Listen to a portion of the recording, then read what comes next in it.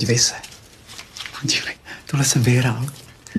Jste na peníze trošku? Jsem na prachy, no. Jo, jste na prachy. Ale moje matka je strašně na prachy, já to mám po ní. Když si vybíráte partnera, tak co pro vás je důležitý? Uh, aby s ním byla legrace. Uh, to, tohle by, byl, um, bylo velké překvápko. Aby se nebral vážně. Ano. Jsem uh, hrála uh, trpaslíka ve Sněhurce v Havířově, v Kulturáku. A aby to byl hodný miláček. Snad to stálo za tu námahu. Se přesuneme tam, kde se to všechno opravdu děje.